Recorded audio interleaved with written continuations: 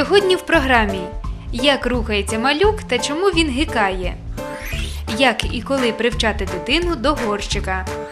Коли припинити виховання дитини? Та й взагалі, чи потрібно його припиняти? Поради спеціалістів.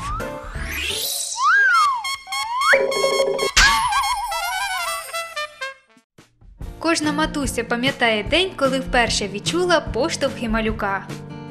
Вообще шевеление по книгам, как первородящая женщина, она ощущает 20 недель.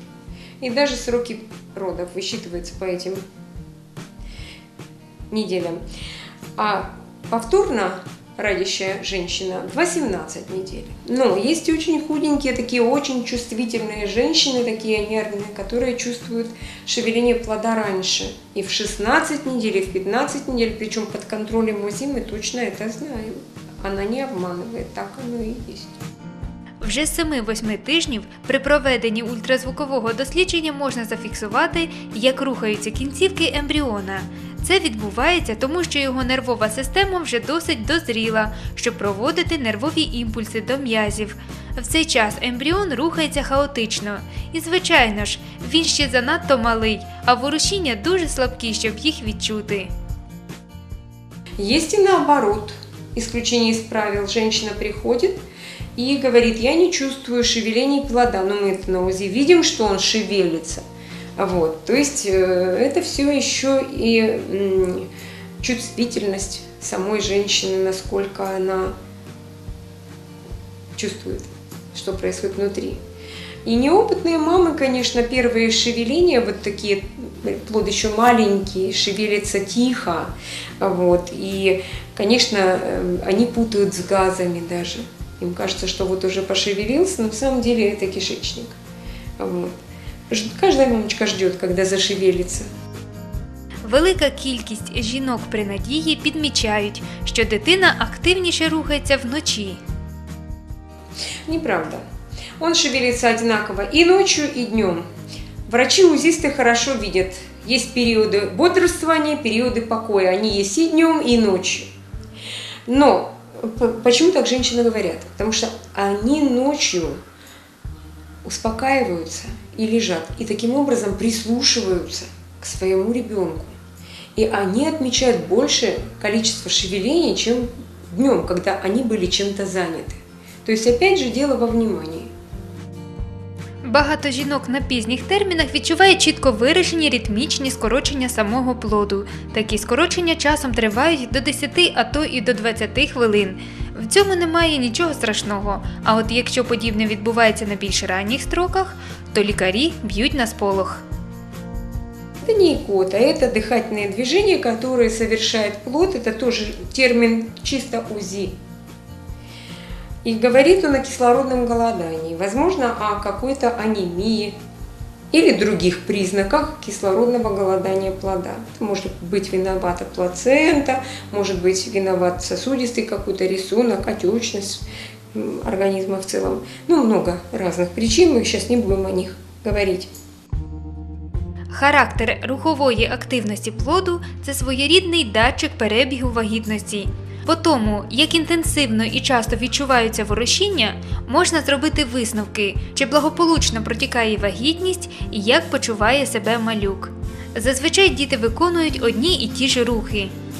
Они учатся сосать палец э, руки, они таким образом эм, вырабатывают сосательные движения. Эм, Они играют ладушки, вот, они тянут ногу на себя, вот, задирают ноги выше своей головы, вот, делают потягуси, складываются снова в позу зародыша. Ну, то есть, в общем-то, не очень и богатый такой набор движений. Вот, но это все собирается как бы в поведение плода. Есть такой термин, тоже УЗИ, поведение плода. Вот, То есть, если он держит свою позу, если он делает все там правильно, то мы думаем, что он развивается правильно.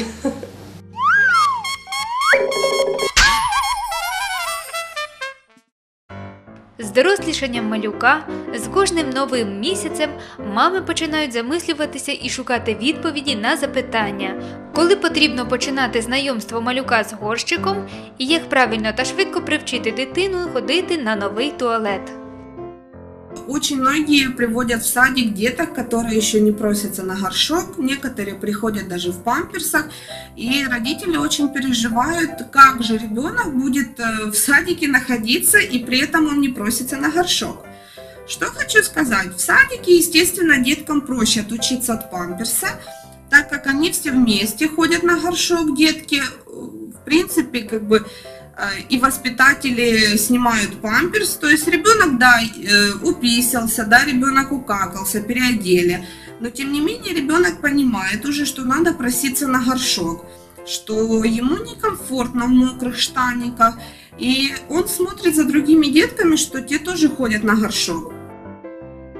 Щоб прискорити цей процес та адаптаційний період, бажано привчити дитину до горщика завчасно так как все-таки ребенку может быть некомфортно в новой обстановке, он не всегда попросится на горшок, но тем не менее он быстрее вольется в атмосферу хождения по своим нуждам, чем если он будет в памперсе. Розпочніть такі зміни влітку, коли дитині виповниться півтора-два роки. На своем примере нам полтора года мы отучились днем от памперса, а, я просто его не одевала, спускала через определенное время на горшок, а потом со временем он начал сам проситься, когда он хочет писать, когда он хочет какать. Но ребенок просится сам. А, то есть я считаю, что ребенок должен в садик прийти полноценно готовым. Он должен кушать самостоятельно и он должен быть без памперса. Для успішного результату дитина повинна розуміти, навіщо його садять на незнайомий йому предмет, для чого знімають штани і що від нього вимагають. Процес може затягнутися на кілька тижнів, а то і місяців. Від батьків потрібно терпіння і спокій. Все зависит от родителей. Насколько родители хотят, чтобы ребенок пошел в садик готовым, адаптированным и подготовленным без памперсов, ну, в плане самостоятельных умений, то так ребенок и пойдет. Если родители не будут этому уделять значение и внимание, то все это ляжет на плечи воспитателей и нянечки группы. Не забувайте, ваш малюк індивідуальність. Тому не потрібно рівнятися на сусідських малюків, які вже ходять на горщик. З часом все обов'язково вийде.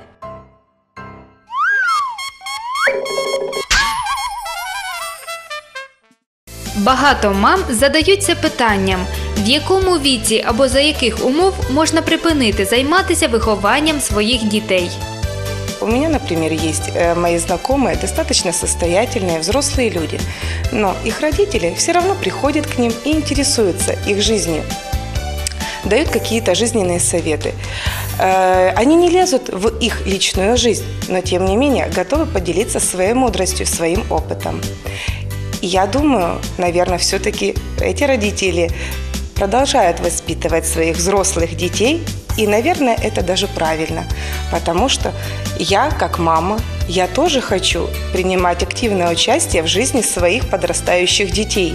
Когда они вырастут, когда они выйдут замуж, обзаведутся детьми, я хочу стать интересной для своих детей. Я хочу быть им нужной, я хочу помогать им. Опіка як виховна тактика відвертий ворог трудового виховання, тому що опікуваного, перш за все, захищають від зусиль і відповідальності. Згубити дитину за допомогою надмірної опіки простіше, ніж ощасливити. Мы не будем навязчивыми, мы не будем перегибать палку, потому что существует такой термин воспитания, как гиперопека. Это очень плохо и очень пагубно влияет на жизнь детей, делает э, детей безвольными, слабыми и не самостоятельными, очень неорганизованными. Такая опека, гиперопека разрушает детскую психику и, наверное, даже не детскую, а даже взрослую. Звідси робимо висновок. Нужно умеренно любить своих детей, нужно правильно помочь правильно подсказать в нужной ситуации. Э, Вот смотрите, даже такая, такой пример. Когда оперился птенец, мама птица выталкивает своего птенца из гнезда для того, чтобы он сделал первый полет. Если она этого не сделает, этот птенец будет не приспособлен к самостоятельной жизни. Так и нормальная, любящая мама должна, тоже должна сделать так, чтобы ребенок научился делать первые шаги. Вот смотрите, когда ребенок рождается, он такой беззащитный, он нуждается в нашей помощи. Каждый день, каждую секундочку мы с ним что-то новое открываем. Он учится поднимать головочку, он учится э, ходить, вставать, держать ложку, чистить зубы. И мы всему этому учим. Час швидко плине, і рано чи пізно потрібно привчити дитину до самостійності, починаючи з найпростішого. Давайте дитині самостійно зробити вибір. Например, сложить свои игрушки, помыть посуду. И это правильно. Э, Я не говорю о том, чтобы ребенка нужно, что ребенка нужно отпустить на самотек и не контролировать. Это неправильно тоже. Нужно обязательно контролировать все действия ребенка и направлять. Э, Обязательно нужно контролировать э, ребенка, когда он будет выбирать книгу, например, выбирать какой-то фильм, э, выбирать себе друзей, выбирать, в какой институт он будет поступать, э, на какую, профи, какую будет профессию выбирать. Это тоже очень важно. Родители должны быть всегда рядом с своими детьми.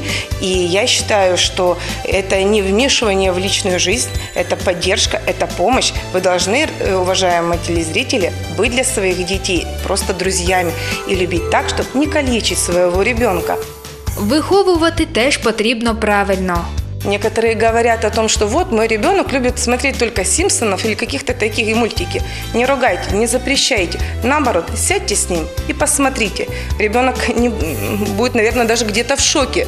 Вот. Но если вы по чуть-чуть, понемножечку будете предлагать э, альтернативу, да, посмотреть какой-то интересный, увлекательный фильм, э, это может быть фантастика, или, например, какую-то передачу про животных, про природу, и где-то вы будете замещать какой-то, опять-таки, прогулкой в парке или в кино пойти, но, соответственно, мы будем обязательно спрашивать э, интерес ребенка.